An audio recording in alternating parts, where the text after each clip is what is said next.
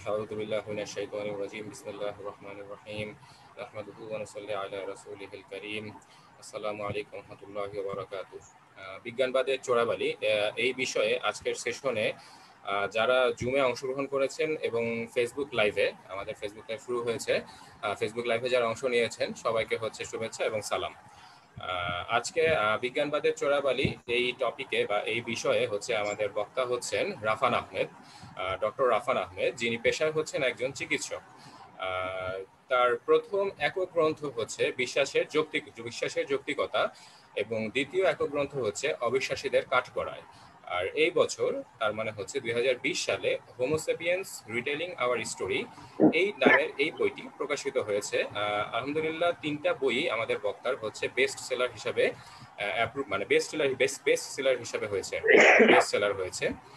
তো অল্প সময়ের মধ্যেই মানে পাঠক সময় মানে পাঠক মহলে হচ্ছে বইগুলো খুব সাড়া ফেলে। আর বক্তার আগ্রহে কিছু বিষয় মানে বিষয়গুলোর মধ্যে অন্যতম বিষয়গুলো হচ্ছে ধর্মতত্ত্ব হাদিস শাস্ত্র philosophy of science and evolutionary biology তো আমরা বক্তাকে তার বক্তব্য পেশ করার জন্য অনুরোধ করছি। রহমান ভাই আপনি মনে হয় শুরু করতে পারেন আর দুই এক মিনিটের মধ্যে নাহমাদুহু নুসাল্লি আলা রাসূলিল কারীম। তো প্রথমেই ধন্যবাদ দিতে চাই আইইউটি এর সোসাইটি এবং আইওএম এর যে উদ্যোগে আজকের যে আয়োজন, আমাদের ছোট একটা ওয়েবিনার যার বেসিক টপিক হচ্ছে বিজ্ঞান একটু জানার চেষ্টা করা। তো এই চেষ্টার ভিতরে আসলে আমাদের ভিতরে কেন আজকের ডিসকাশনটার নাম বিজ্ঞানবাদের চোরাবালি ঠিক করা হলো? ইনশাল্লাহ আমরা সামনে যখন আলোচনায় যাব সেটা আমরা জানব। তো আমাদের অল্প সময় আছে like maybe two minutes or so তো ইনশাল্লাহ আমরা নয়টা থেকে আমাদের আজকের ডিসকাশনটা শুরু করব। তো হোস্ট যিনি ছিলেন, সম্মানিত ভাই, উনি অলরেডি আমার পরিচয় দিয়ে দিয়েছেন। নতুন করে নিজেকে আর পরিচয় দেওয়ার কিছু নাই। আর আজকের আলোচনা আমি চেষ্টা করব ভাগটা কীরকম হয় আপনারা হয়তো জানেন যে, আজকের ডিসকাশনে I will try to give some ideas, you know, some throw some ideas.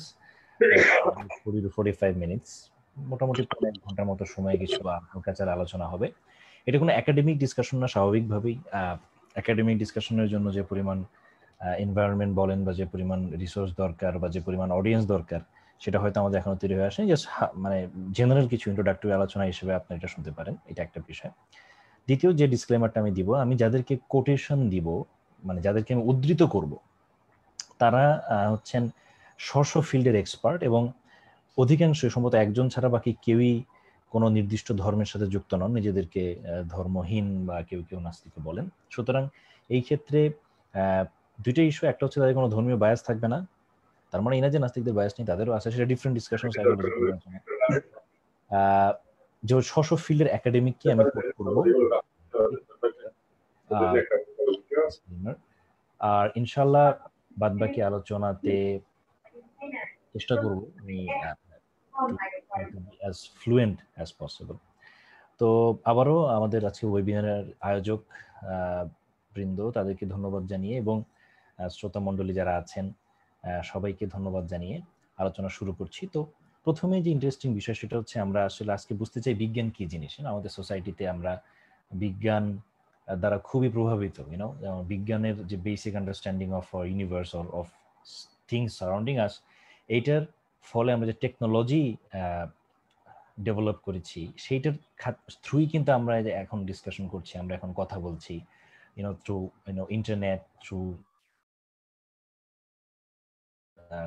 devices either mobile device or computer devices so বিজ্ঞান আসলে আমাদেরকে খুব হিউজ ইনফ্লুয়েন্স করেছে, এবং that is why say influence এর কিছু এক্সটেনশন থাকে। বিজ্ঞানের এত এত হিউজ ইনফ্লুয়েন্স এটার কিন্তু একটা ফলাফল আমরা ব্যক্তি জীবনে পাই। তো মানুষ যে জিনিসটাকে খুব বেশি ফিল করে, খুব বেশি যেটা দ্বারা প্রভাবিত হয়, সেটার প্রতি কিন্তু তার একটা আলাদা ডেডিকেশন চলে আসে। তো এই বিজ্ঞান নিয়ে আমরা অনেক রকম মতামত, অনেক রকম ধারণা পাই। কিন্তু মূল যে বিষয়টা প্রবলেম সেটা হচ্ছে যে বিজ্ঞান নিয়ে প্রপার আন্ডারস্ট্যান্ডিংটা আমাদের প্রচলিত যে সমস্ত বিজ্ঞান বই আমরা দেখি বা বিভিন্ন ভুলফুট বিজ্ঞান গ্রুপ আছে, তাদের কাছে পাওয়া যায় না। তো আমরা চেষ্টা করব যে আমরা যারা জানতে ভালোবাসি, তারা একটু বুঝব যে বিজ্ঞান আর বিজ্ঞানবাদের পার্থক্যটা কি, কোনটা আসলে বিজ্ঞান, কোনটা বিজ্ঞানবাদী আচরণ, ইত্যাদি। তো যারা আমার টুকটাক লেখা বলেন বা ভিডিও দেখেছেন এর আগে লাইভ তারা মোটামুটি জানেন যে আমার প্রতিটা ভিডিওতে এমন কিছু বিষয় থাকে বা লাইভে অ্যাকচুয়ালি আইড সাই যে যেটা সচরাচর আপনাদেরকে বিজ্ঞান ভক্তরা বলবে না। কিন্তু পশ্চিমের যারা সমালোচক, নিজেরা নিধর্মীয় সত্ত্বেও তারা এগুলো বলেন আমাদের দেশে সেই সততা এখনও আসেনি। তো আলোচনা শুরু করা যাক। প্রথমে এটা ইন্টারেস্টিং বিষয় দেখেন। আমার মনে হয় যারা বিজ্ঞানের ময়দানে ঘাটাঘাটি করেন এই কয়জনকে আপনারা সবাই চিনেন? যাদের ছবি আপনারা দেখতে পাচ্ছেন এখানে, যে বাম থেকে শুরু করলে ডান পর্যন্ত, Sam Harris, Neil deGrasse, Tyson Stephen Hawking, তাকে তো মনে হয় চিনে না এমন কেউ মুশকিল অ্যাটলিস্ট যারা সায়েন্স সম্পর্কে জানে। We have Lawrence Krauss Richard Dawkins এরা সবই হচ্ছে আমাদের সময়কার পপুলার আমি বলব পপুলার সায়েন্টিস্ট বা বিজ্ঞানী। নিউরো সায়েন্টিস্ট প্রথম প্রথমজন স্যাম নীল হচ্ছেন astrophysicist cosmologist Stephen Hawking theoretical physicist Lawrence Krauss theoretical physicist if I am not wrong and Dawkins তার ব্যাপারে কি বলব? সেকুলার ক্রুসাইডের অন্যতম একজন মানে পপুলারাইজার বলা যায় বায়োলজিস্ট। তো কিন্তু উপরে একটা হেডলাইন দেখেন, আমি বলছি এরা হচ্ছে বিজ্ঞানবাদিতার জনপ্রিয় প্রচারক। কিন্তু ঝামেলা হচ্ছে আমাদের প্রচলিত বিজ্ঞানের ময়দানে আমরা এদেরকে বিজ্ঞানের প্রচারক বলে মনে করি, তাই না? এদের থেকে কোনো রেফারেন্স পেলে বিজ্ঞান ভক্তরা খুব ভালো মতো সেটাকে আত্মস্থ করেন। বাট আমি বলতেছি মানে এইটার টাইটেল হচ্ছে বিজ্ঞান বিজ্ঞানবাদিতার জনপ্রিয় প্রচারক। আসলে কথাটা আমার না। এই কথাটা হচ্ছে একজন ফিলোসফারের যিনি নিজেই নিধর্মী, নিজেই কোনো, নিজেও নিজেই নিজেকে নাস্তিক বলেন। কিন্তু আমাদের দেশের অবস্থা লোকদের মতন আর কি। আর একটু সৎ একাডেমিক্যালি একটু অনেস্ট তো উনি, ওনার একটা লেকচার উনি নিচ্ছিলেন, যেখানে উনি আলোচনা করতেছিলেন বিজ্ঞান, বিজ্ঞানবাদ এই বিষয়ের সম্পর্ক এবং বিজ্ঞানের সীমাবদ্ধতা নিয়ে। তো আলোচনার সময় উনি বিভিন্ন, আমি যাদের ছবি আপনাদের দেখাচ্ছি স্ক্রিনে তাদেরকে উদ্ধৃত করে, তাদের কাজ বা বক্তব্য উদ্ধৃত করে উনি দেখিয়েছেন যে বেসিক্যালি পপুলার পর্যায়ে, জনপ্রিয় মণ্ডলে মানে জেনারেলি আমজনতা পর্যায়ে যদি খাস বাংলায় বলি আর কি, আমজনতা পর্যায়ে আমরা যে বিজ্ঞানটা পাই, সেটা যারা প্রচার করেন, তারা মূলত বিজ্ঞানের জায়গায় বিজ্ঞানবাদিতা প্রচার করেন। আমি ওনার একটা লেকচার এর ছোট একটা অংশ নিয়ে এসেছি। আমি আশা করি মানে অডিওটা শোনা যাবে এই লেকচারের একটু আমি এই ইয়াটা চালাই। লেকচারটা চালাই। আমরা জাস্ট একটু শুনে অডিওটা অডিওটা চালানোর আগে আমরা একটু একটা কথা বলে নিই। যিনি বক্তব্য বক্তব্য দিচ্ছেন উনি হচ্ছেন মাসিমো পিগলিউজি ওনার প্রাইমারি ট্রেনিং ছিল এফ এম নট বায়োলজিতে সেখানে মাস্টার্স করে উনি দেন ফিলোসফিতে শিফট করেছেন। তার মানে ওনার সায়েন্স সাইন্টিফিক ফিল্ডেও ট্রেনিং আছে পাশাপাশি ফিলোসফিক্যাল ফিল্ডে ট্রেনিং আছে। নিজেকে উনি ধর্মহীন নাস্তিক বলে পরিচয় দেন।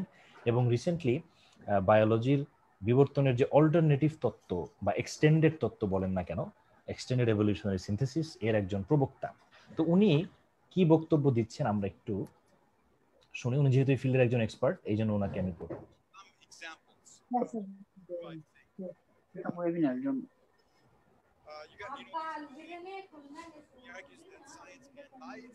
Yeah.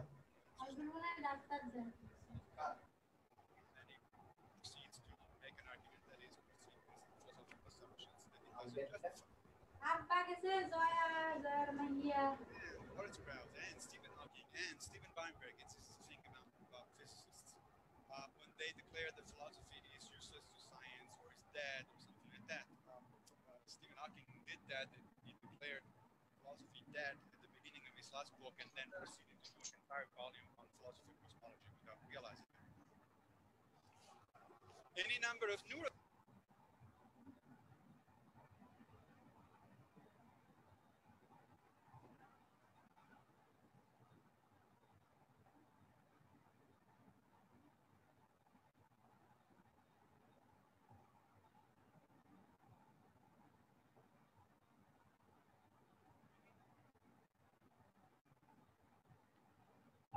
আচ্ছা কিছু ভাই বলছেন ভিডিওটা সাউন্ড ক্লিয়ার আসে না আমি বুঝলাম না সাউন্ডের ভিতরে কেন ব্যাকগ্রাউন্ড চলে আসলো। যারা পার্টিসিপেন্ট আছেন তারা সবাইকে মিউট করেন। হোস্টদের বলব কাইন্ডলি এই বিষয়টা একটু এনশিওর করেন। যারা পার্টিসিপেন্ট আছেন তাদের প্রত্যেকের অডিও যেন মিউটেড থাকে। জি ভাই পার্টিসিপেন্ট যারা আছেন সবাই কাইন্ডলি মিউট করে রাখেন। আমরাও মিউট করে দিচ্ছি। আর আরেকটা জিনিস ভাই অ্যানোটেট করার একটা অপশন আছে। স্ক্রিনে দাগ দেওয়া যায় দয়া করে ভাই প্লিজ এই অপশনটাকেও ইউজ করবেন না। স্ক্রিনে যারা করেছেন দয়া করে মুছে দিন দাগগুলো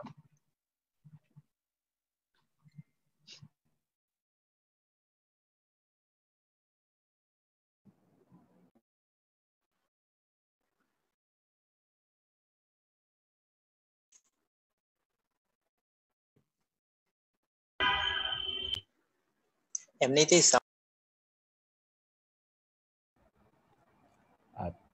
আচ্ছা আশা করি আমাকে শুনতে পাচ্ছেন আমি আমি কি ভিডিওটা আরেকবার প্লে করব আহ, ভিডিওটা আরেকবার প্লে করি দেখি অডিওটা আসে কিনা some examples of who I think uh, has engaged in it.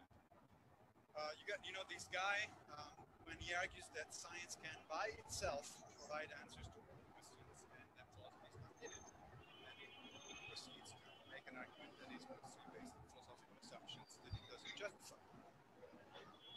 Neil, unfortunately, and Lawrence Krauss, and Stephen Hawking, and Stephen Weinberg, it's this thing about, about physicists um, they declare that philosophy is useless to science or is dead or something like that. Um, Stephen Hawking did that. He declared philosophy dead at the beginning of his last book and then proceeded to do an entire on philosophy.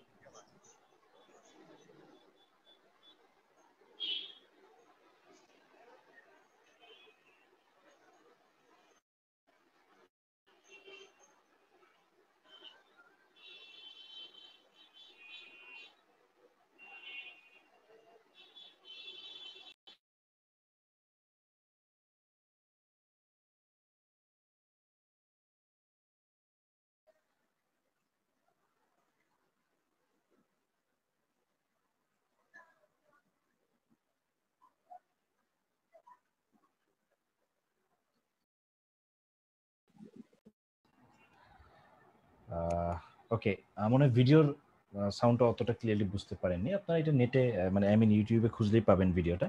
তো উনি এখানে বলতেছেন যে বেশ কিছু scientist পপুলারাইজারের নাম নিয়েছেন। Stephen Hawking থেকে শুরু করে you know Sam Harris Neil deGrasse Tyson Steven Weinberg এদেরকে আমরা সবাই চিনি। মানে বিজ্ঞান ভক্ত যে মহলটা এই মহলে সবাই কিন্তু মোটামুটি চিনে।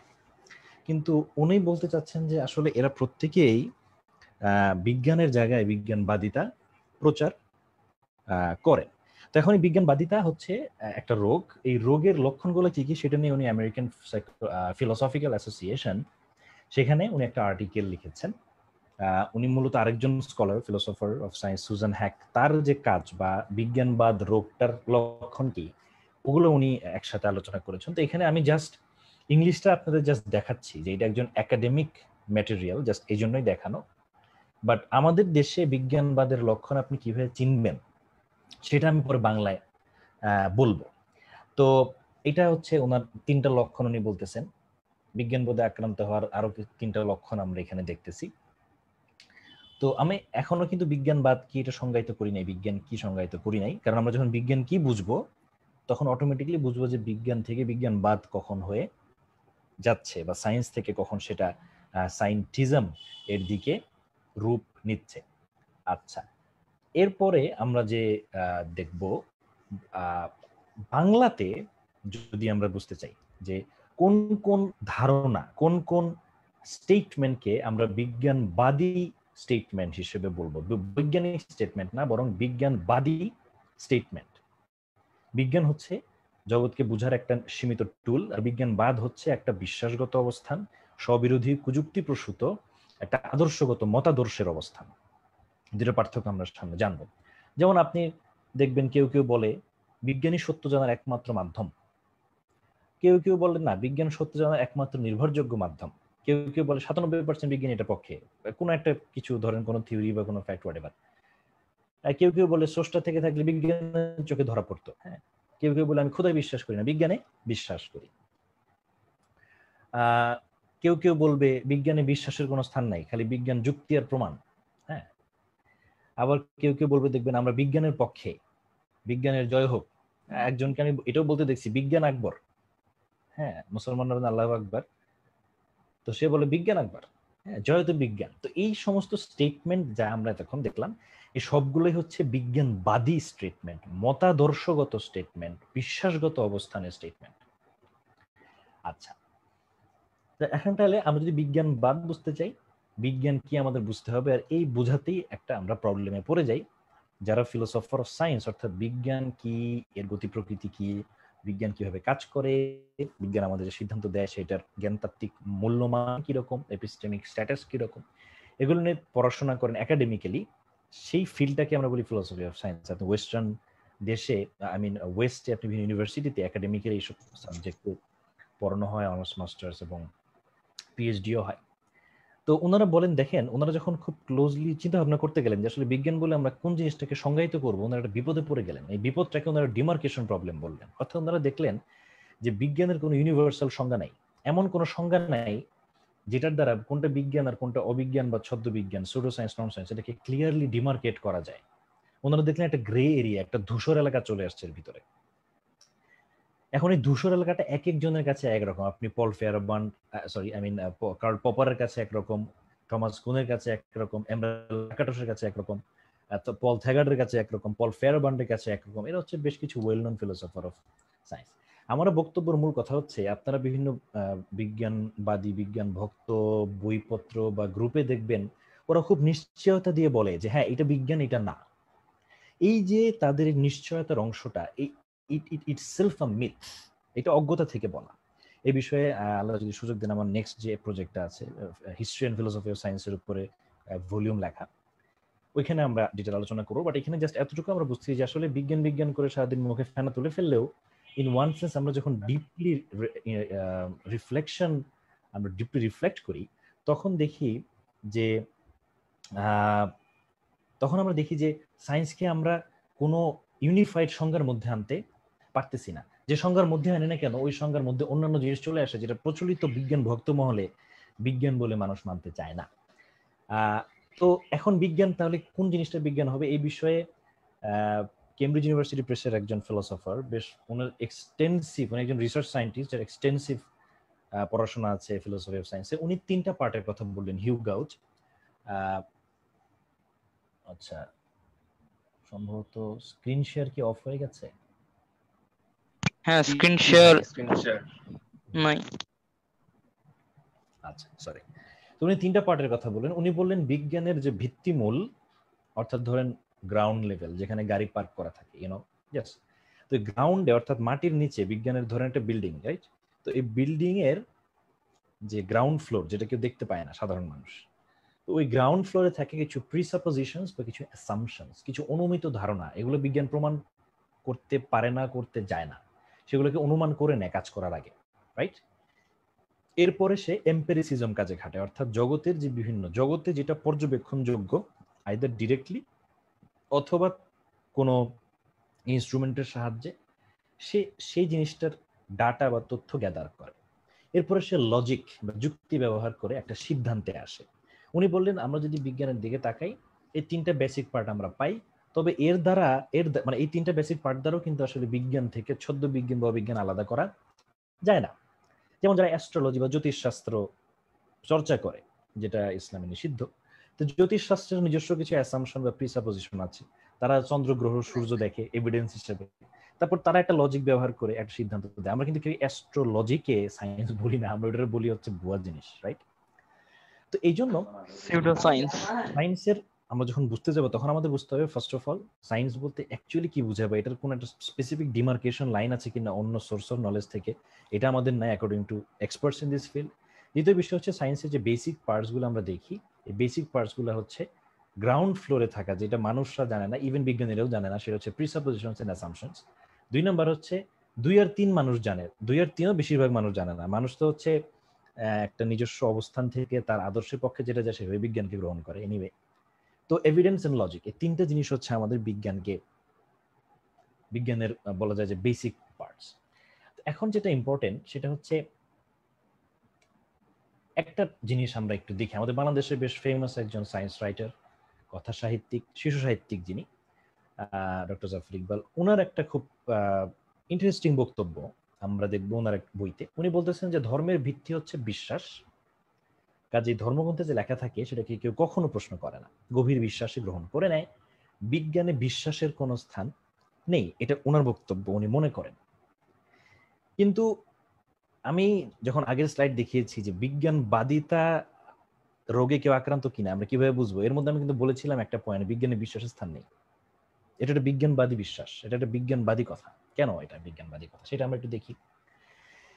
আজকের যে বিজ্ঞান চর্চিত হয়, এটা কিন্তু বেসিক্যালি আমরা বলব যে এই বিজ্ঞানের ওই যে বললাম যে আন্ডারগ্রাউন্ডে বা গ্রাউন্ড ফ্লোরে যে সমস্ত দার্শনিক অনুমান বা বিশ্বাস বা পূর্বানুমান রয়েছে, এটা কিন্তু এনলাইটেনমেন্ট বা সতেরো শতক ইউরোপীয় এনলাইটেনমেন্টের সময় থেকে তারা গ্রাউন্ড গ্রাউন্ড ফ্লোরে ঢুকেছে। এর আগে যারা বিজ্ঞান চর্চা করতেন, তারা ওই গ্রাউন্ড ফ্লোরের ওই অনুমান বা বিশ্বাসগুলোকে এসেনশিয়াল মনে করতেন না। তো এনলাইটেনমেন্টের সময় থেকে যে বৈজ্ঞানিক ধারণা তৈরি হয়, সে ধারণা হচ্ছে যে যা কিছু জগৎ দিয়ে ব্যাখ্যা করা যাবে সেটাই বিজ্ঞান হবে। এরকম একটা মানসিকতা এবং মেজাজ তৈরি হয় এবং এরপর থেকে যেটা হয়, বিজ্ঞানের পুরো কাঠামোটাকে এমনভাবে গঠন করা হয় যে বিজ্ঞান শুধু জগতের ভিতরের ব্যাখ্যাকে সীমাবদ্ধ রাখবে। এর মানে এই না যে জগতের বাইরে স্রষ্টা বা হেভেন হেল জান্নাত, জাহান্নাম এগুলো নাই, তা না। কিন্তু বিজ্ঞানের কথা হচ্ছে আমার গবেষণার বস্তু হচ্ছে জগৎ। জগতের মধ্যে আমি সীমাবদ্ধ, আমার সিদ্ধান্ত আমি জগতের মধ্যেই দিব। পারলেও দিব, না পারলেও দিব। যদি এমন হয় যে আমার সিদ্ধান্তটা আমাকে বলতেছে যে, না, এটা জগতের টুল দিয়ে ব্যাখ্যা করা সম্ভব না, কিন্তু এরপরও আমাকে জগতের টুল দিয়ে ব্যাখ্যা করতে হবে। সেই ব্যাখ্যা যতই হাস্যকর হোক না কেন, সেই ব্যাখ্যা যতই অ্যাবসার্ড হোক না কেন। এই যে একটা ডগমা উঠছে বা এই যে একটা আপনার একটা কমিটমেন্ট আর ফিলোসফিক্যাল কমিটমেন্ট এটাকে বলা হয় মেথোডোলজিক্যাল ন্যাচারালিজম মেথোডোলজিক্যাল মানে পদ্ধতিগত ন্যাচারালিজম এর বাংলা আমরা সাপোজ করলাম। পদ্ধতিগতভাবে বিজ্ঞান একটা একটা একটা প্রতিজ্ঞা নিয়ে কাজ করে। সেটা হচ্ছে, জগতের ব্যাখ্যা জগতে রাখব। যদি এই ব্যাখ্যা জগৎ দ্বারা সাফিসিয়েন্ট নাও হয়, এরপরও জগতে রাখতে হবে। এই যে একটা কেউ বলেন গোরামি কেউ বলেন নেসেসিটি এইটা নিয়ে মূলত বর্তমান যে বিজ্ঞান চর্চিত হয়, পশ্চিমা বিজ্ঞান, এই ধারণা যাত্রা শুরু করে। তো এই বিষয়টাকে আরেকটু ইন্টারেস্টিং ভাবে আমরা জানতে পারি আরেকজন নাস্তিক। জেনেটিসিস্ট রিচার্ড লেভিনটিনের সরল স্বীকারোক্তিতে, উনি বেশ অনেস্ট ভাবে স্বীকার করেছেন বিষয়টা। উনি বলতেছেন যে, আমাদের টোটাল সাইন্টিফিক এন্টারপ্রাইজ বা স্ট্রাকচারটাই এমনভাবে গঠন আমরা করেছি এনলাইটেনমেন্টের পরে, যে এটা শুধুমাত্র জাগতিক ফলাফল আমাদের দিবে, জাগতিক ব্যাখ্যাই শুধু দিবে। সেই ব্যাখ্যা যত কাণ্ড জ্ঞানহীন হোক না কেন, সাধারণ মানুষের কাছে যত অ্যাবসার্ড হোক না কেন, যেমন ধরেন এভলিউশনের আইডিয়াস সাইকোলজিস্টরা আপনার বিভিন্ন স্টাডি আপনি পাবেন, যেখানে তারা দেখেছেন যে এভলিউশনারি আন্ডারস্ট্যান্ডিং এটা মানুষের যে নর্মাল ওয়ারিং মানুষ যে নর্মাল স্বাভাবিকভাবে চিন্তা করে, এর সাথে যায় না। ইভেন যাদেরকে ট্রেনিং দেওয়া হয় এভলিউশনারি বায়োলজিতে এরাও যখন স্ট্রেসের মধ্যে পড়ে, তখন প্রাণের বিভিন্ন ব্যাখ্যার ক্ষেত্রে গিয়ে তারা ইন্টেলিজেন্ট ডিজাইন বা সৃষ্টি তত্ত্ব স্রষ্টা তত্ত্বের দিকে তারা সরে যায়। ইন্টারেস্টিং স্টাডিগুলা তো এখানে আমাদের বুঝতে হবে যে আমাদের দেশে সারা বিশ্বে বিজ্ঞান ভক্তদের ভিতরে একটা ভুল ধারণা বিদ্যমান। এই জন্যই তারা বিজ্ঞান বাদে আক্রান্ত। যদি ভুল ধারণা না থাকতো, তাহলে আলটিমেটলি বিজ্ঞান নিয়ে প্রপার আন্ডারস্ট্যান্ডিং এ তারা আসতো। তো উনি যেটা বলতেছেন যে শুরু থেকেই প্রকৃতিবাদের প্রতি আনুগত্যের কারণে আমরা বাধ্য যে বিজ্ঞানের স্ট্রাকচারটা এরকম, শুধু জাগতিক ব্যাখ্যায় জন্ম দেয় যতই অ্যাবসার্ড হোক না কেন। এবং উনি বলতেছেন যে তাদের ফিলোসফিক্যাল কমিটমেন্ট আছে এখানে। আমরা ঈশ্বর নিয়ে কথাবার্তা সহ্য করব না, তাই আমাদের নিকট প্রকৃতিবাদ ছাড়া কোনো বিকল্প নেই। মানে এটা হচ্ছে বর্তমান সাইন্টিফিক ওয়ার্ল্ডের একটা বলা যায় যে হিডেন ডগমা হিডেন ডগমা সবার না ডেফিনেটলি তো এই বিষয়টাকে আরেকজন এইথিস্ট ফিলসফার থমাস নেগেল ওনার মাইন্ড অ্যান্ড কসমস বইতে বলেছেন যে এটা হচ্ছে একটা অনেকটা গোড়ামি, একটা বলা যায় যে এক্সিওম্যাটিক কমিটমেন্ট অর্থাৎ এর বিশ্বাসগত এক্সিওম বানিয়ে ফেলা হচ্ছে এই বিশ্বাসটাকে। টু রিডাকটিভ ম্যাটেরিয়ালিজম অর্থাৎ বস্তুবাদ বানায় ফেলা হচ্ছে যে বস্তুর মধ্যে থাকতে হবে বস্তুর মধ্যে থাকলে সেটা বিজ্ঞান। তো এটা বেসিক্যালি একটা ডগমা রাইট তো এটা হচ্ছে বিজ্ঞানের একটা প্রতিজ্ঞা বলেন ডগমা বলেন, বিশ্বাস বলেন, যাই বলেন না কেন, এই জিনিসটা কিন্তু আমরা বুঝি না। দ্যাট ইজ ওয়াই আমরা যখন বিজ্ঞানের বিভিন্ন তাত্ত্বিক এক্সপ্লেনেশন বা তত্ত্বের ব্যাখ্যা দেখি আপনি দেখবেন তত্ত্ব কিন্তু যাই হোক না কেন ব্যাখ্যাটা জগতের মধ্যে দিচ্ছে তো আমরা ভাবি যে বিজ্ঞানীরা মনে হয় এইটা খুঁজে পেয়েছে জগৎ ঘেটে। জগৎ ঘেটে তারা, জগৎ তাদের বলতেছে যে না, ব্যাখ্যা এইটাই। কিন্তু রিচার্ড লিওন্টিন স্পষ্টভাবে স্বীকার করছেন যে আসলে ব্যাখ্যা ওইটাই এমন না। আমরা এমন ভাবে বিজ্ঞানটা গুছাইছি যেন এই ব্যাখ্যাটাই আসে, যেন ব্যাখ্যাটা জগতের মধ্যেই আসে। তো আমরা এখানে ক্লিয়ারলি একটা মেথোডোলজিক্যাল বায়াস কিন্তু দেখতে পাই। তো এই বিষয়টা কিন্তু আপনার কাছে নতুন যারা বিজ্ঞান ভক্ত, তারা তো বিশ্বাসই করতে চাবেন না। কেউ কেউ হয়তো গালিগালাজ দিয়ে চলে যাবেন। তো এই বিষয়টা আসলে শুধু তারা সাধারণ মানুষ না, আপনি আমজনতার কথা বাদ দিলেও স্পেশালিস্ট যারা যারা নিজেদের বিজ্ঞানী বলেন, বিজ্ঞান নিয়ে কাজ কারবার করেন, তাদেরও মেজরিটিও জানেন না। এই বিষয়ে ক্রিস্টফ কক একজন নাম করা নিউরো সায়েন্টিস্ট উনি সায়েন্স জার্নালে একটা বইয়ের, একটা আর্টিকেলের রিভিউ করছিলেন তখন উনি খুব ইন্টারেস্টিং একটা স্বীকৃতি উনি দিয়েছেন। সেটা হচ্ছে যে আসলে আমাদের সমস্ত তত্ত্ব ও পরীক্ষা নিরীক্ষা কতগুলো দর্শনগত অনুমানের উপর ভিত্তি করে পরিচালিত হয়। তো এই লুকানো সত্যটা অনেক গবেষকের কাছেই চরম লজ্জার ব্যাপার। তাই প্রায়শই বিষয়গুলো তারা স্বীকার করতে চায় না। কারণ আপনি দেখবেন যে আমাদের নর্মাল যে ডিসকোর্স সেখানে বলা হয় ধর্মে হচ্ছে বিশ্বাস আছে, বিজ্ঞানের ভিত্তিতে কোনো বিশ্বাস নেই, কোনো অনুমান নেই, বিজ্ঞান খালি যুক্তি আর প্রমাণ। কিন্তু খ্রিস্টফ কক বলতেছেন, না, আসলে কিছু হিডেন লুকানো কিছু বিষয় আছে আমাদের বিজ্ঞানের গ্রাউন্ড ফ্লোরে কিছু অনুমান আছে। তো এই বিষয়গুলা গবেষকরা লজ্জার মানে তাদের কাছে লজ্জার ব্যাপার স্বীকার করা। তাহলে তো বিজ্ঞান কাইন্ড অফ ধর্মনত হয়ে গেল না ওখানে কিছু এমন জিনিস আছে যেটা আমি প্রমাণ করতে পারি না, এখানেও এমন জিনিস আছে, এমন কিছু প্রমাণ করতে পারি না। তো এগুলো দেখা যাচ্ছে তারা প্রায় স্বীকার করতে চান না। কিছুক্ষণ আগে আমি যখন জোনাথন মার্কসের স্লাইডটা দেখলাম আপনাকে ফার্স্টলি জোনাথন মার্কস ওনার বইতে বলেছেন যে না, আসলে বিজ্ঞানীদের এই বিষয়গুলো নিয়ে ভাবতে ট্রেন করা হয়। তারাও কিন্তু তারা সায়েন্স নিয়ে কাজ করেন সায়েন্সের নেচার নিয়ে কাজ করেন কিন্তু বিষয়টা interesting। সুতরাং আমরা বুঝতে পারছি না, আসলে বিজ্ঞানের ফাউন্ডেশনে এমন প্রিসাপোজিশন থাকে যেগুলো বেসিক্যালি অ্যাসামশন কিছু ফিলোসফিক্যাল কমিটমেন্টের মতো। তো এই বিষয়টা আমি ইন্টারেস্টিং বাংলাদেশে একজন ফিলোসফারের লেখাতেও পাই। এবং উনি ওনার ইফ এম নট রং ওনার একটা অ্যাসেসমেন্টই ছিল ফিলোসফি সায়েন্সের উপরে। তো উনি এখানে বলতেছেন যে বেসিক্যালি প্রচলিতভাবে মনে করা হয় কি যে যুক্তি প্রমাণ ভিত্তিক হচ্ছে বিজ্ঞান, বিনা বিচারে কিছু মানা হয় না। কিন্তু আমরা যখন বিজ্ঞানের পুরো কাঠামোটাকে বিশ্লেষণ করব গভীরভাবে, তখন দেখব যে এই যৌক্তিক কাঠামোর ভিতরেও কিন্তু অযৌক্তিক অল্প যৌক্তিক নানা কিছু ঢুকে বসে আছে। এবং উনি উদাহরণ দিচ্ছেন নিজেই, যেমন বিশ্বাসের কথাটাই ধরা যায় আমরা নর্মালি ভাবি যে বিশ্বাস হচ্ছে ধর্মের ভিত্তি, যেটা জাফর ইকবাল স্যার যেটা বললেন যে বাজ বিচার ছাড়াই গ্রহণ করা হয়। কিন্তু বিজ্ঞানের যে কাঠামোটা আমরা দেখি, যে বিল্ডিংটা মাটির উপরে দেখি, এটা যদি প্রপারলি আমরা খেয়াল করি, মাটির নিচটাও খেয়াল করি, তাহলে আমরা দেখব যে এই এই কাঠামোর মধ্যেও কিন্তু বিশ্বাস আছে। এবং তার মধ্যে বিশ্বাস আর যুক্তি একটা দান্দিক সহবস্থানে এখানে অবস্থান করে। আচ্ছা এই এই এই বইটা হচ্ছে রিসার্চ মেথোডোলজির বই বেশ নাম করা একটা ইন্টারন্যাশনাল একাডেমিক পাবলিকেশন পাবলিশ হওয়া প্রফেসর অ্যামিনেটাস পিটার প্রুজান উনিও বলতেছিলেন যে বিজ্ঞান হচ্ছে কিছু প্রিসাপোজিশন বা বিশ্বাস এর উপর দাঁড়ানো, বিজ্ঞানের যে কাঠামোটা, যেটা বেসিক্যালি কোনো লজিক বলেন বা বিজ্ঞান ইটসেলফ দিয়ে আপনি প্রমাণ করতে পারবেন না রাইট সো উনি বলতেছেন if this proposition is correct then it would be reasonable to conclude that science that since science rests on a foundation of statements that are assumed to be true, but cannot be proved or firmly established, science fundamentally is a matter of faith. উনি বলতেছেন, এখন এটা যদি আমরা স্বীকার করি, তাহলে এখান থেকে তো আমরা বলতে পারি যে আসলে বিজ্ঞানও ইন ওয়ান সেন্স বিশ্বাসের উপরই দাঁড়ানো।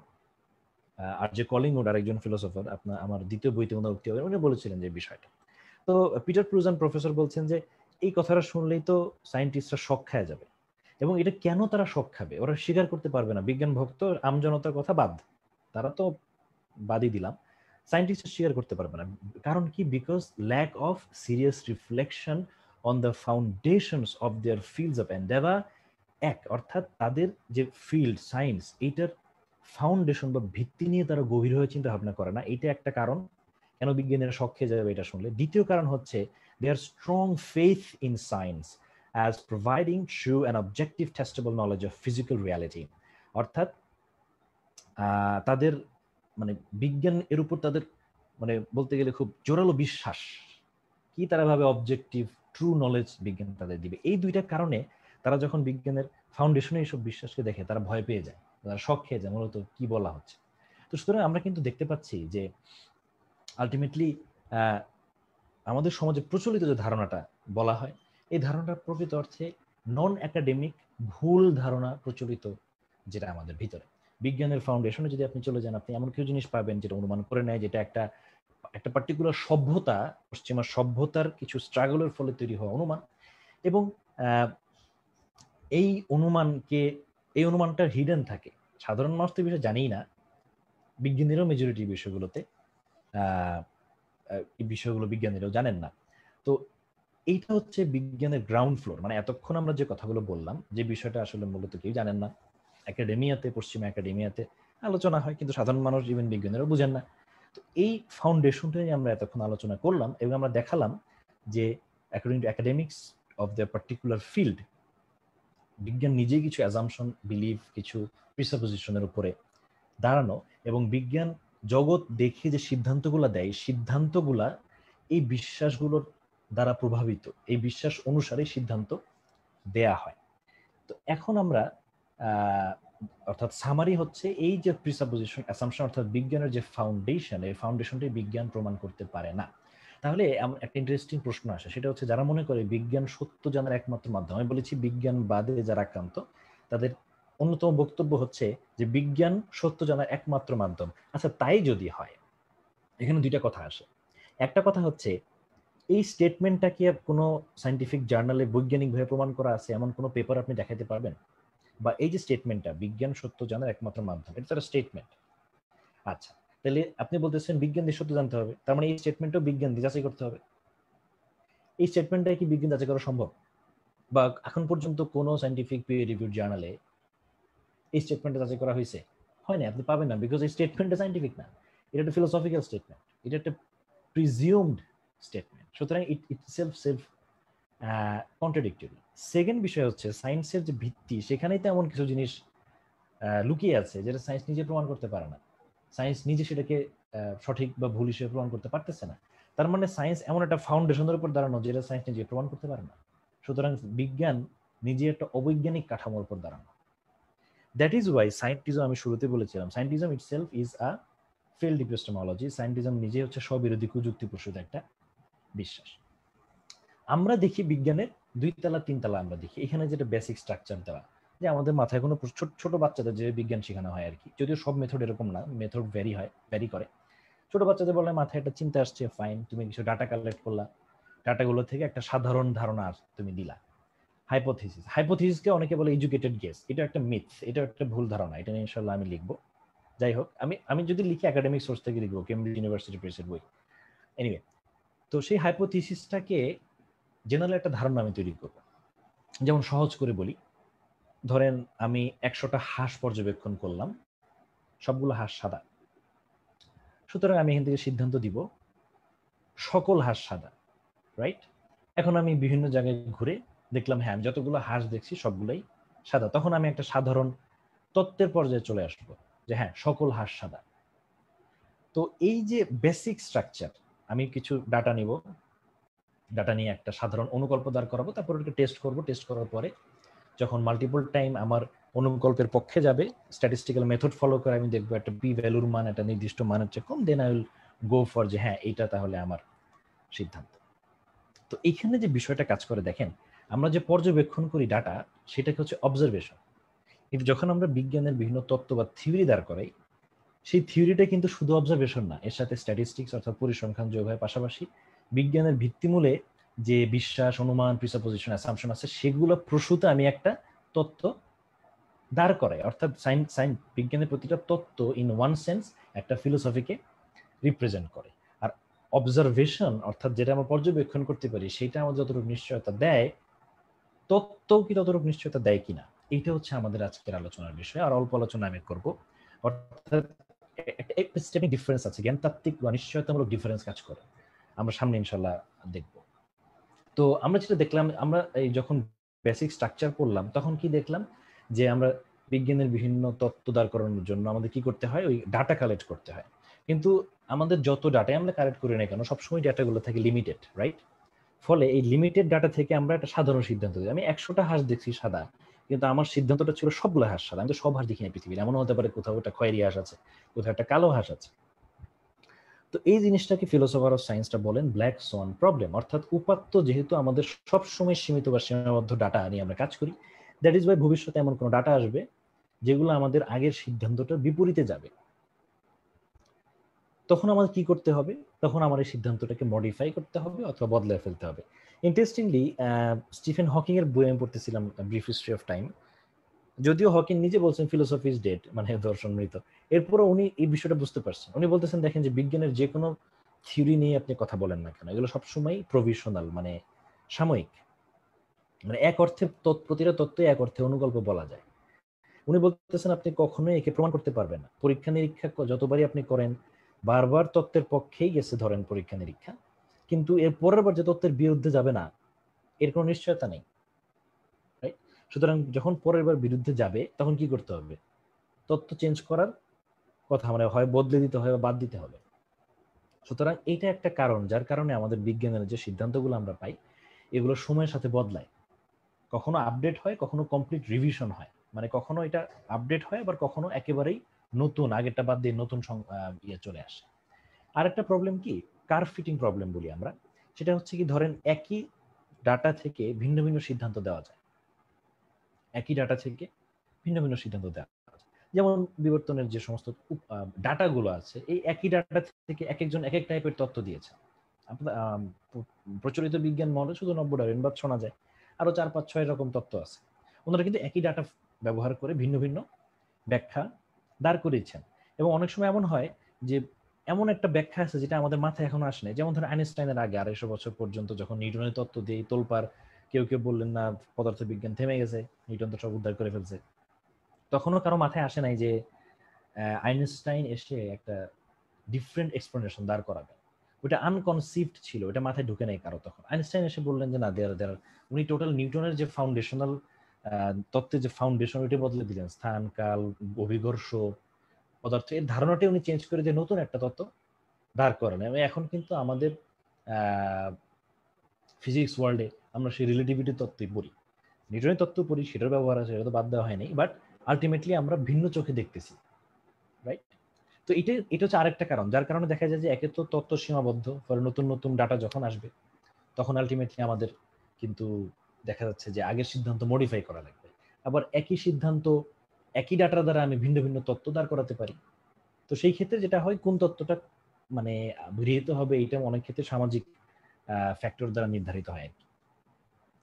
তো দ্যাট ইজ ওয়াই আমাদের বিজ্ঞানের কোনো একটা তত্ত্ব যে একটা ডাটার মধ্যে ফিট করলে এই যে তত্ত্বটা প্রমাণিত, এই যে একটা ক্রুড আন্ডারস্ট্যান্ডিং এটাও কিন্তু অ্যাকচুয়ালি ঠিক না। এই বিষয়কে যদি একাডেমিক টেক্সট পড়তে চান কাইল স্ট্যানফোর্ডের বেশ মানে রিকমেন্ডেড একটা বুক আছে অক্সফোর্ড ইউনিভার্সিটি পাবলিশ করা। উনি এখানে দেখাইছেন যে বেসিক্যালি মানে আমরা যে ডাটা থেকে, পর্যবেক্ষণ থেকে বলব এই তত্ত্ব প্রমাণিত মানে এটা খুব ক্রুড ওয়ে আমরা যদি চারটা তত্ত্ব দাঁড় করাই, আমরা ডাটা থেকে দেখা যাবে চারটে ভ্যালিড করতে পারতেছি। কোনোটাকে উনি উনি তো ইভেন বলছে যে অ্যাপ্রক্সিমেটলি ট্রু বলব এটা অনেক সময় সম্ভব হয় না রাইট তো এই যে আন্ডারস্ট্যান্ডিং আপনি দেখবেন কেউ মনে করে বিজ্ঞানের যে তত্ত্ব, অর্থাৎ থিওরি এইটা জগতের অ্যাকচুয়াল রিয়েলিটিকে প্রকাশ করে। এদেরকে বলা হয় সাইন্টিফিক রিয়ালিস্ট আর কেউ কেউ বলে, না, আসলে দেখেন, বিজ্ঞানের তত্ত্বগুলো তো সময়ের সাথে বদলায়। ডাটা কম থাকে আমাদের। তারপরে দেখা যায় যে, একই ডাটা দ্বারা ভিন্ন ভিন্ন ব্যাখ্যা দাঁড় করানো যায়। তো এখন যে ব্যাখ্যাটা প্রচলিত, দশ বছর, বিশ বছর পরে নতুন ব্যাখ্যা চলে আসবে। তো সত্য কি দশ বছর, বিশ বছর পরে চেঞ্জ হবে নাকি? কারণ আমরা এখানে তত্ত্ব নিয়ে কথা বলছি আমরা অবজারভেশন পর্যবেক্ষণ নিয়ে কথা বলতেছি না। যে উদাহরণ বললেন, দেখেন, আমরা বিজ্ঞানটাকে একটা টুল হিসেবে ব্যবহার করব। নলেজ গ্যাদার করার টুল মানুষের উপকার করব দ্যাটস অল এটার মধ্যে আপনারা সত্য টত্য লাগাইতে যায় না। তো এটা নিয়ে দুইটা গ্রুপ আছে সাইন্টিফিক রিয়ালিস্ট সাইন্টিফিক ইনস্ট্রুমেন্টালিস্ট এখন ধরেন সাইন্টিফিক ইনস্ট্রুমেন্টালিজমের আলোচনা আপনার পছন্দ না ফাইন এটা নিয়ে ডিসকাশন প্রচুর করা যায়, আমি সেদিকে যাচ্ছি না।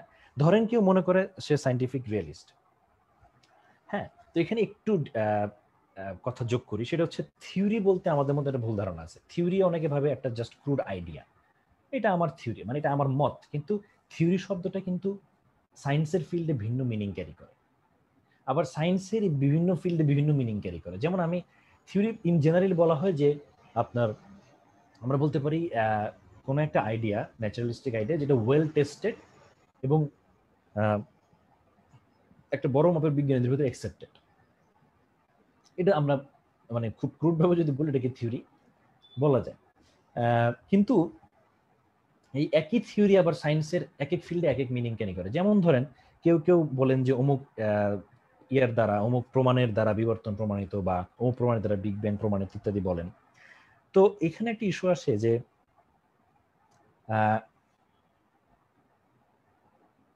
স্ট্রিং থিওরি মাল্টিভার্স থিওরি এগুলো তো থিওরি নামের সাথে আপনি থিওরি পাবেন। কিন্তু এগুলোর একটার কোনো প্রমাণ নাই। বিশ বছর ধরে গবেষণা করার পরে এগুলোর কোনোটার পক্ষে কোনো রকম প্রমাণ পাওয়া যায় নাই। মাল্টিভার্সের পক্ষে তো প্রমাণ পাওয়া যাবেও না। এটা নিয়ে আলাদা জার্নাল পেপার আছে, আমার বইতে পাবেন। তো তাহলে এটা তো থিওরি বলতেছি সায়েন্সের ফিল্ডেই তার মানে একে তো সাধারণ মানুষ থিওরি বা ফ্যাক্ট যে অর্থে ব্যবহার করেন, বিজ্ঞানের ক্ষেত্রে থিওরি বা ফ্যাক্টের সেই অর্থ না। আবার বিজ্ঞানেরই বিভিন্ন ফিল্ডে থিওরি থিওরির অর্থ সেরকম না থিওরি এপিস্টেমিক ওয়েট সেরকম না রাইট তো এই বিষয়গুলো একটু জানা দরকার আদারওয়াইজ আমাদের ভিতরে ওভার জেনারেলাইজেশন হয়ে যায়। তো যারা মনে করেন না, বিজ্ঞানের যে সিদ্ধান্ত বা তত্ত্ব, সেইটা আমাদেরকে প্রকৃতির সত্যের কাছাকাছি নিয়ে যাবে তাদের বক্তব্য যদি আমরা মনোযোগ দিয়ে পড়ি, তারা তারা আমরা দেখব তারাও স্বীকার করেন যে না, আসলে এই সত্যটাও সময়ের সাথে বদলাবে। মানে তাদের এই সিদ্ধান্তটাও এটা সাময়িক সত্য। যেমন আমরা এখানে অক্সফোর্ড ইউনিভার্সিটি প্রেস থেকে পাবলিশ করা একটা বই দেখতে পাচ্ছি গিলিয়ান বার্কার এবং ফিলিপ কিচারের লেখা। দুজনেই এথিস্ট উনি বলছেন, দেখেন সায়েন্স রিভাইজেবল বিজ্ঞানটা আসলে পরিবর্তনযোগ্য, সংশোধনযোগ্য। সুতরাং যারা কথায় কথায় বৈজ্ঞানিক প্রমাণ দাও, বৈজ্ঞানিক প্রমাণ পেয়েছি, এই ধরনের কথাবার্তা বলেন, এটা আসলে একটা ক্ষতিকর মানসিকতা। ক্ষতিকর মানসিকতা, কেন?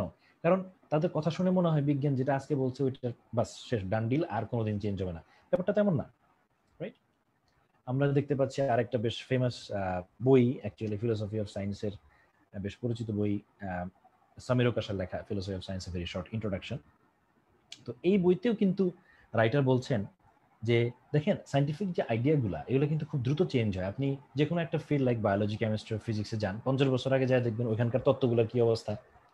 একশো বছর আগে যাবেন দেখবেন সেটা আরেক রকম রাইট তো সময়ের সাথে সায়েন্স রিভাইজ হয়। এই রিভাইজটা কি লিনিয়ার অর্থাৎ সায়েন্স গ্র্যাজুয়ালি নিজেকে আপগ্রেড করে, নাকি সিক্লিক্যাল অর্থাৎ সায়েন্সের রেভলিউশন হয়? আগের আইডিয়া বাদে নতুন আইডিয়া আসে। এগুলো নিয়ে একাডেমিয়াতে ডিসকাশন আছে।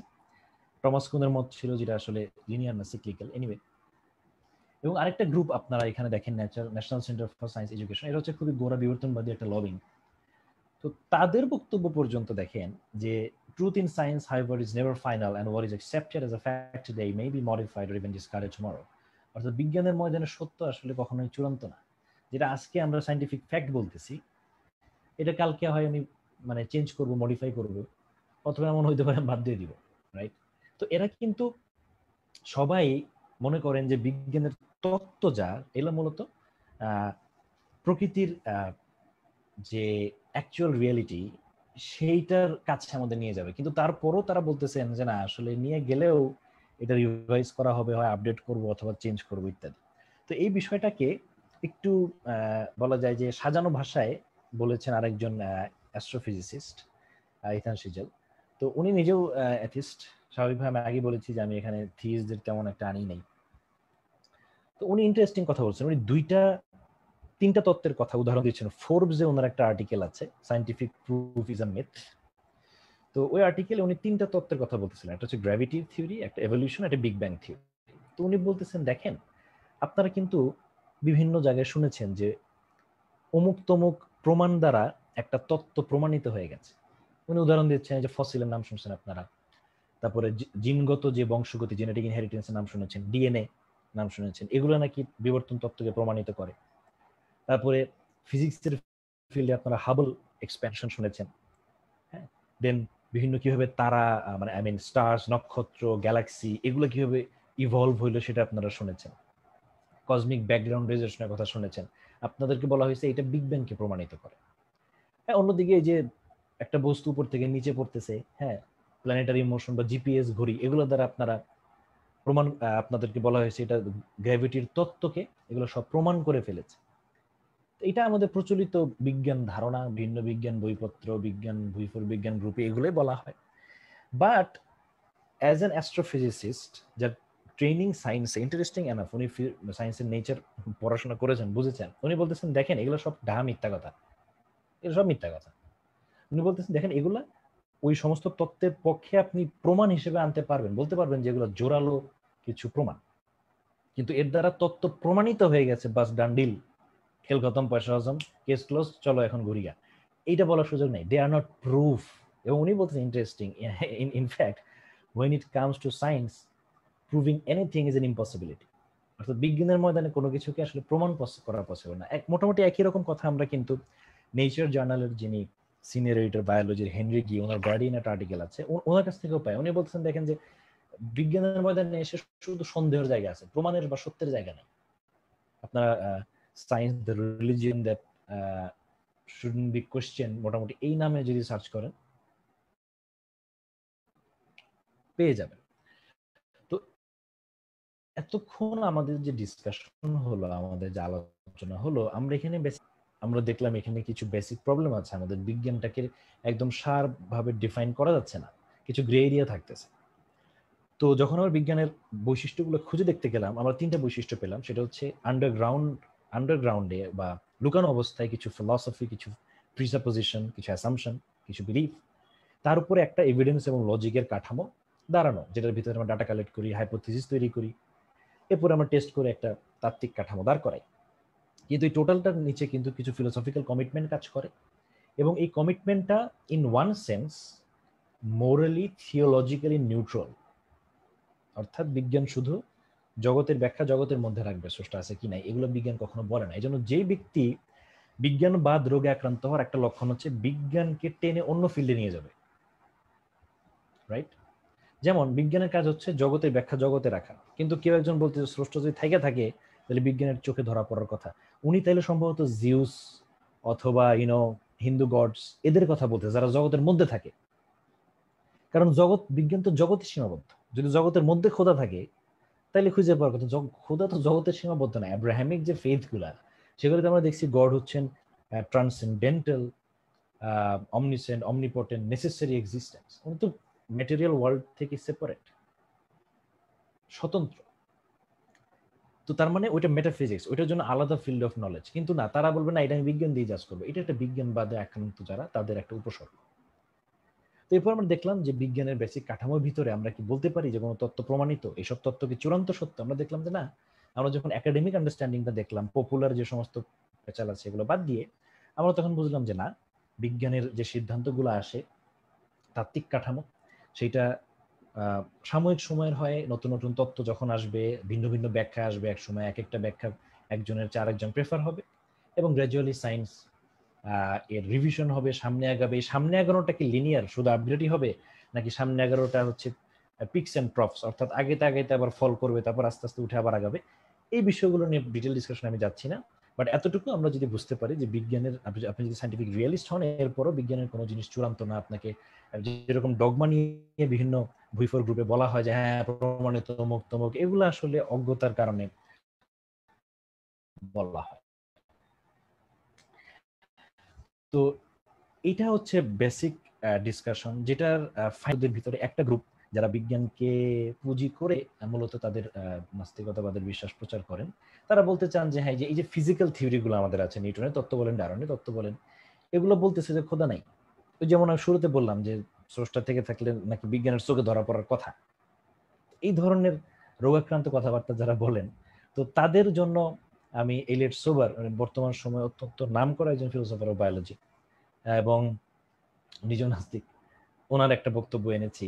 আপনারা যদি কেউ পারেন এই আর্টিকেলটা পড়বেন did Darwin write the origin backwards interesting article আমি পুরোটা আনিয়ে নিই আরও ইন্টারেস্টিং কথা আছে জাস্ট একটা অংশ আছে উনি বলতে দেখেন, যারা এই ধরনের কথা বলে, যে অমুক তত্ত্ব আমাকে বুঝাই দিচ্ছে, খোদা নাই, তারা বুঝতে হবে যে না, তারা বিজ্ঞান ওই সমস্ত কথা বলে না বিজ্ঞান ওই তত্ত্ব এই সমস্ত কথা বলে না।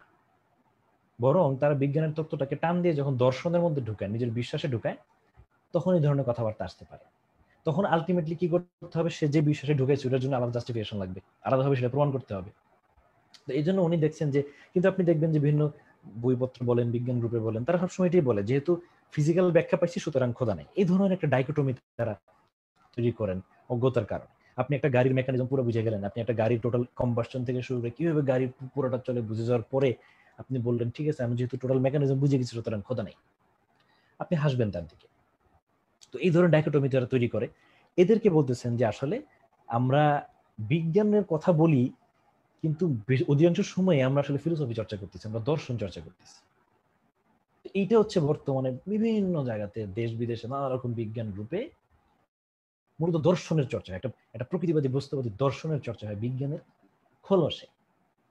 এই বিষয়টা যদি আমরা বুঝতে পারি, তাহলে যে আমাদের ভিতরে বিজ্ঞান বনাম ধর্মের এই যে একটা কনফ্লিক্ট লাগানো হয়, তাহলে বুঝতে পারি না। আসলে সমস্যাটা বিজ্ঞান ধর্মে না। কনফ্লিক্ট হচ্ছে ধর্মগত অবস্থান আর বস্তুবাদী বিশ্বাসের অবস্থান, এই দুইটার ভিতরে। রিলিজিয়ন এবং ম্যাটেরিয়ালিজম নট সায়েন্স তখন আমরা সায়েন্স নিয়ে আরও ফ্রুটফুলি এঙ্গেজ হতে পারব অ্যাজ আ মুসলিম আমাদের অনেকের ভিতরে নাস্তিকদের অপপ্রচার হোক বা আমাদের না বোঝার কারণে বিজ্ঞান নিয়ে একটা ফোবিয়া কাজ করে বা অভক্তি কাজ করে। আমরা যখন বেসিক স্ট্রাকচারটা বিজ্ঞানের বুঝব, তখন বুঝব না, আসলে থিওলজিক্যাল এটা নিউট্রাল আপনি অবজারভেশন থেকে ইনফারেন্স কোন দিকে নেবেন, সেটা আপনার অ্যাসাম্পশনের উপর ডিপেন্ড করবে। তো ইন শর্ট এটাই খুবই আলোচনা অল্প আলোচনা। আসলে বেশি ইয়ার সুযোগ হয়নি এমনিতে পুরো এক ঘণ্টা হয়ে গেছে। তো আমি ইনশাল্লাহ আলোচনা শেষ করব। এখন কেউ যদি প্রশ্ন করতে চান করতে পারেন। ভাই, যারা প্রশ্ন করতে চান, তারা কাইন্ডলি রাফাম ভাইকে প্রাইভেটলি টেক্সট করেন। উনি কোশ্চেনগুলা থেকে রিড করে আপনার অ্যান্সার দিবেন। আমরা অডিও কোশ্চেন নিচ্ছি না। আপনারা কাইন্ডলি রাফাম ভাইকে প্রাইভেটলি টেক্সট করেন।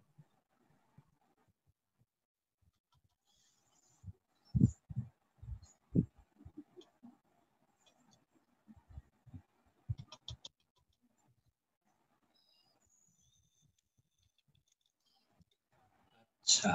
অনেক প্রশ্ন। মনে হচ্ছে না এত উত্তর দিতে পারব। সময়ও কম। যারা সালাম দিয়েছেন সবাইকে ওয়ালাইকুম সালাম আচ্ছা প্রাইভেট চ্যাট কেমনে ওপেন করব? ভাই আপনি নরমালি চ্যাট বক্স আপনার চ্যাট বক্সে দেখতে পারেন কোথাও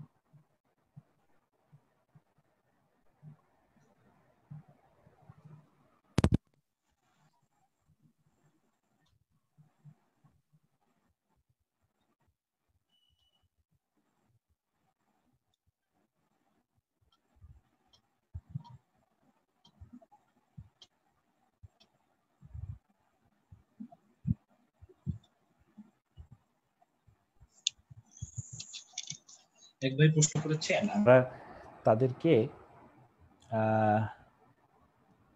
ইয়া শিখাবো কীভাবে? মানে সায়েন্টিজম নিয়ে কীভাবে জানাব? আসলে দেম না বলি, আমরা বলি আস হ্যাঁ? নিজেরা জানি আগে, তাদের চিন্তা পরে, আগে নিজেরা শিখি। নিজেরা যখন এইসব বিষয়ে একাডেমিক্যালি এনগেজ হব, তখন আলটিমেটলি এক সময় যত ইয়া করুক, বুঝবে তারা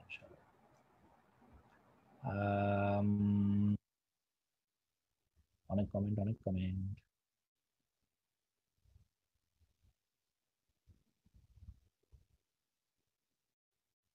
আচ্ছা একজন বললেন যে আলোচনার শেষে বিজ্ঞান ও ধর্মের মাঝে বর্তমান যে দ্বন্দ্ব, তার ইতিহাস নিয়ে একটু বলতে। আচ্ছা এটা আসলে অনেক বড় ডিসকাশন এই ডিসকাশনটাকে আপনি যদি একাডেমিক্যালি পড়তে যান, এটাকে ওয়ারফেয়ার থিসিস বা কনফ্লিক্ট থিসিস বলে। এটা নিয়ে প্রচুর কাজ হয়েছে জার্নাল পেপার পাবেন, বই পাবেন। ছোট কথায় বললে বিজ্ঞান ধর্মের মাঝে যে দ্বন্দ্বের ইতিহাস বলা হয়, এটা মোটা দাগে মিথ্যা।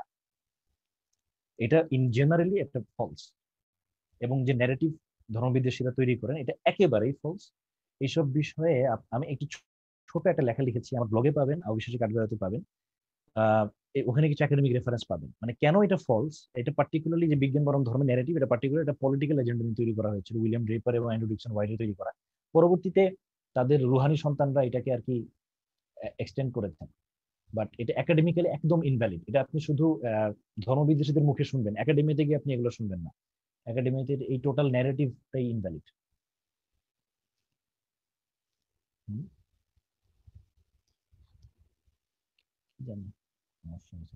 এটাতে লোড হচ্ছে। ওকে ওকে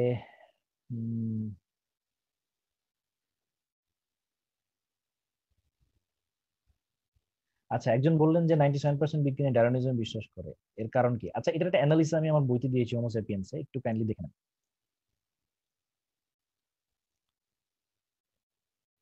আচ্ছা একজন বললে কোরআন ধর্মগ্রন্থের সাথে বিজ্ঞানের কিছু বিষয় মিলেছে। এটা একেবারে বিজ্ঞান না বলে পর্যবেক্ষণ বলব বিজ্ঞান শুধু পর্যবেক্ষণ না, তাত্ত্বিক কাঠামোটাও বিজ্ঞানের ভিতরে।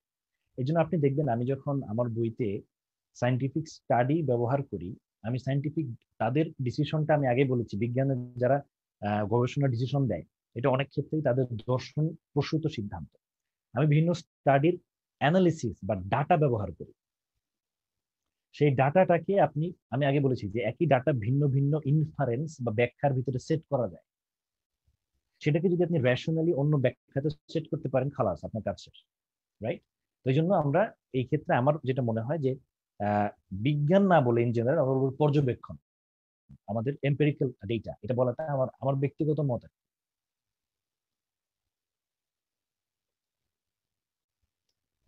বিজ্ঞানের অল্টারনেট কি? একজন বললেন, সত্য খুঁজে পাওয়ার অল্টারনেট কি আছে? এই বিষয়ে আসলে এই- আলোচনাটা ইন জেনারেল এপিস্টেমোলজির ভিতরে।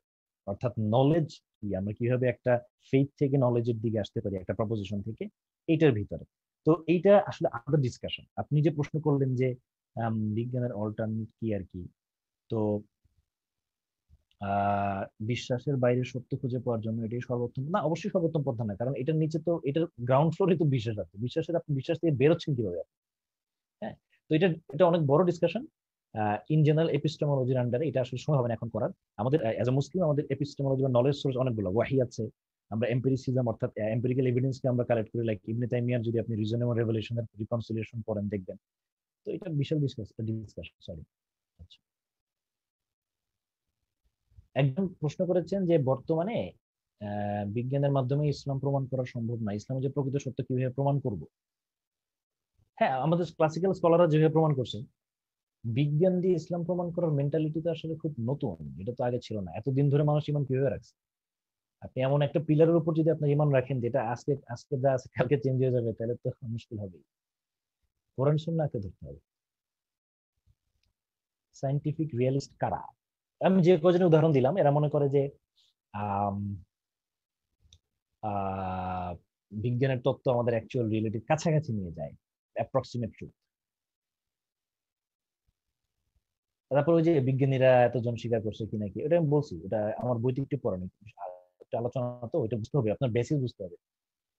বিজ্ঞানে প্রতিষ্ঠিত সত্য বলতে কিছু নেই, আমার জানা মতো নেই। পর্যবেক্ষণ আর তত্ত্ব এক জিনিস না। আর যদি প্রতিষ্ঠিত আপনি বলেনও, সেটা যা আছে পঞ্চাশ বছর পর সেটা থাকবে না চেঞ্জ হয়ে এটাই বিজ্ঞানের প্রতিষ্ঠিত হওয়ার স্বরূপ।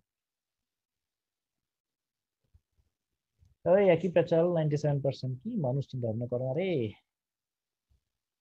আচ্ছা ইন্টারেস্টিং প্রশ্ন করছেন, যারা সবাই যারা রেফারেন্স এরা সব অবিশ্বাসী, এদের অবিশ্বাস ভিত্তিক দর্শন। আচ্ছা প্রথম কথা আমি এদের কেন নিয়ে আসছি?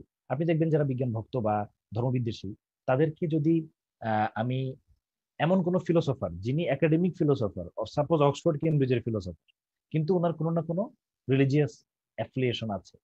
এমন কেউ যদি সঠিক কথা বলে, তারা গরমে প্রসূত নিবে না। জেনেটিক ফেলাসি করবে। এই জন্য আমি সাধারণত এদের নিয়ে আসি। তাদের অবিশ্বাসের ভিত্তি শুধু দর্শন না। এই বিষয়ে একটা পেপার আপনি পাবেন, আমার বইতে হোমোসেপিয়েন্সে সেটা হচ্ছে যারা বেসিক্যালি অ্যাথিস্ট হয় বা সায়েন্টিস্টদের ভিতরে অ্যাথিস্ট হয়, এরা আসলে কি কি কারণ হয়? এটা একটা স্টাডি হয়েছে। এর মধ্যে মেজর ইয়ে হচ্ছে তাদের সোসাইটি এবং ফ্যামিলিয়াল ব্রিঙ্গিং আপ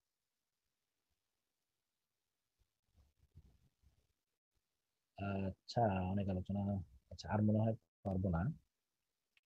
অবজারভেবল আর আনঅবজারভেবল দুটোর মধ্যে পার্থক্য করবেন কেমন? যেটা দেখতে পারবেন না সেটা আনঅবজারভেবল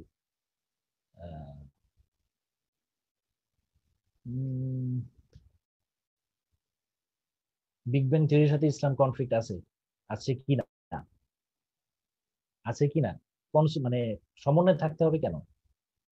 যে সায়েন্টিজম ধারণ করে তারে কি বলবেন? তাকে বলা হয় সায়েন্টিস্টিক আচ্ছা।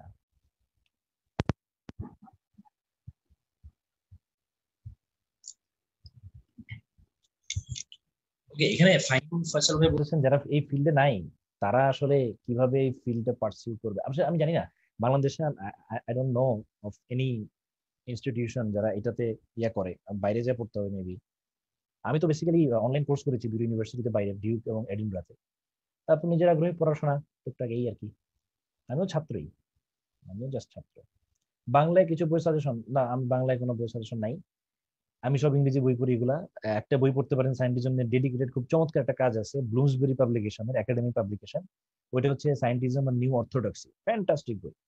এখানে একদম এই ফিল্ড ফিল্ডের হিস্ট্রি অ্যান্ড ফিলোসফি অফ সায়েন্সের ফিল্ডের একাডেমিকরা এসে একদম চমৎকার অ্যানালাইজ করে দেখাইছেন।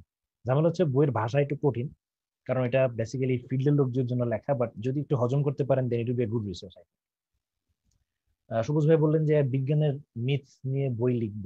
হ্যাঁ ইনশাল্লাহ, আমার আমার একটা প্ল্যান আছে, আমার নেক্সট মানে বড় প্রজেক্ট ইনশাল্লাহ এটা আল্লাহ যদি সুযোগ দেন। সায়েন্টিস্ট সবাই বিজ্ঞানবাদী নয়। Yes I do agree with you সায়েন্টিস্টদের সবাই বিজ্ঞানবাদী, আমি সেটা বলি নাই। আমি দেখাচ্ছি যারা পপুলার লেভেলে মানুষ, যা, মানুষ যাদেরকে বিজ্ঞানের মুখপাত্র হিসেবে চিনে তারা ইন ওয়ান সেন্স বিজ্ঞানবাদীদের প্রচার করে। আচ্ছা অনেক প্রশ্ন, আল্লাহ, কি যে করি?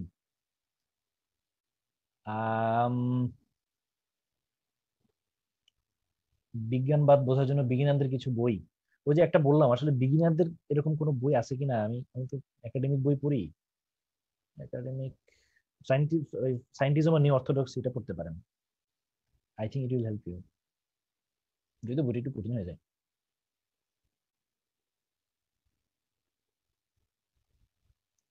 বুক রিকমেন্ডেশন থেকে আছে বুক বুক রিকমেন্ডেশনটা পরে দেওয়ার চেষ্টা করব।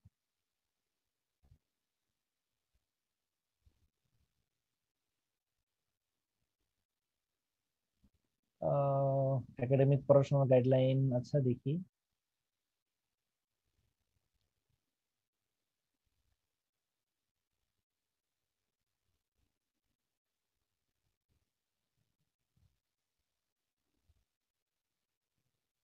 আচ্ছা এখানে একজন প্রশ্ন করছে, আমি বুঝলাম না প্রশ্নটা কেন করলাম আমি কোন সময় বললাম যে প্রকৃতি কোনো বস্তু না? উনি আমার কথা বুঝতে পারেনি আপনি লেকচারটা আবার একটু শুনেন, তারপরে দেখেন।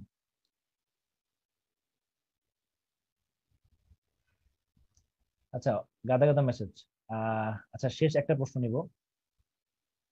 শেষ একটা প্রশ্ন নিব।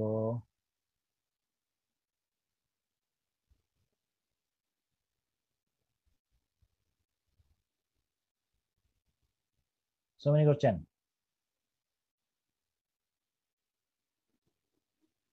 আচ্ছা মুরসালিন ভাই উনার উত্তর না দিলে তো আমার খবর আছে।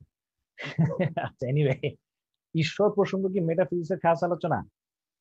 আসলে দ্য আইডিয়া অফ গড এটা সায়েন্সের আলোচনার বিষয় না, এটা ইন জেনারেল ফিলোসফি এবং থিওলজির আলোচনার বিষয়। এই জন্য এই ফিল্ডে যারা ঢুকাবে সায়েন্সকে তার মানে সে রোগে আক্রান্ত, রোগাক্রান্ত। এনিওয়ে আই এম সরি আসলে আমার পক্ষে আর প্রশ্ন সম্ভব হচ্ছে না। আমি জানি না আপনাদের কতটুকু উপকার হলো। আই হোপ যে কিছু হলেও হয়তো শিখতে পারবেন। আর এমনিতেও আমি অনেক সময় এমন কিছু টার্ম ব্যবহার করেছি যে এটা হয়তো আপনারা আগের নলেজ না থাকলে বুঝতে পারবেন না। সো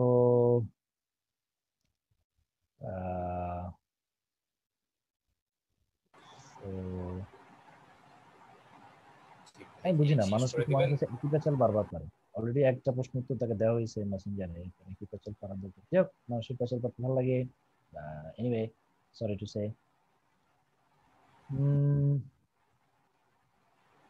জি কি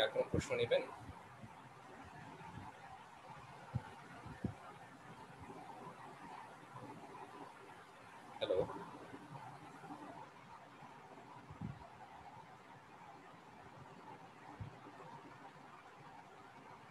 ওকে সো প্রচুর প্রশ্ন সবগুলো আনা সম্ভব না।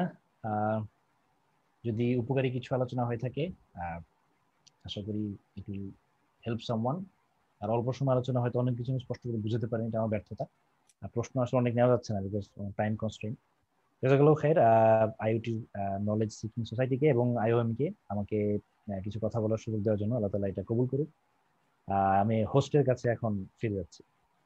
জি খায়রান রাফান ভাই এবং যারা অংশগ্রহণ করেছেন সবাইকে সবার প্রশ্ন হয়তো নেওয়া সম্ভব হয় নাই সময় স্বল্পতার জন্য, বুঝাই এটা আসলে আশা করি বুঝবেন সবাই ইনশাআল্লাহ। আর আইওএমকে অসংখ্য ধন্যবাদ আমাদেরকে হচ্ছে সাহায্য করার জন্য, আমাদের সাথে হোস্ট হিসেবে থাকার জন্য। রাফান ভাই তো অবশ্যই অসংখ্য ধন্যবাদ। হ্যাঁ আপনার রাফান ভাই উপকার মানে আলোচনা ইনশাল্লাহ আমাদের জন্য একটু উপকার আসবে। যদিও আলোচনাটা বেসিক ছিল, তবে আশা করি হচ্ছে যে এরকম আলোচনা আমরা আরও মানে আরও অ্যারেঞ্জ করতে পারব ইনশাল্লাহ সামনে হচ্ছে ধন্যবাদ।